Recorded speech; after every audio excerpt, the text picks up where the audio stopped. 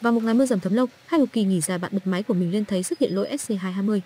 Bạn không cần phải sợ, vì bạn đang xem video này của tôi, tôi sẽ hướng dẫn bạn xử lý trong một nốt nhạc. Bạn hãy tắt nguồn máy và tháo hộp la đem ra phơi nắng cho tôi, đảm bảo sẽ hết cam kết 100% mà khỏi. Nhà tôi ba đời làm. Ấy tôi nhầm sao quảng cáo.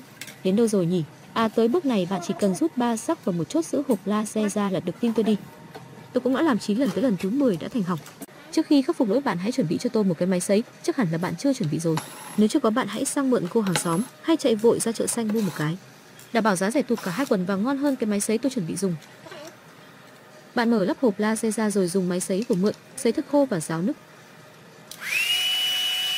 Bạn sấy phải làm theo anh kỹ thuật đẹp trai này thì sẽ được. Nhìn cách anh ấy làm là biết đẹp trai rồi. Sấy xong bạn lắp lại ốp và gương laser. Lắp sao cho giống nhà sản xuất kẻo lại lỗi nặng hơn lại bắt đền tôi.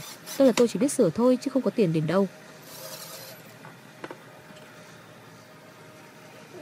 Tới bước lắp laser bạn để ý cho tôi ba vị trí mà anh kỹ thuật chỉ cắm để đủ dốc vào đó.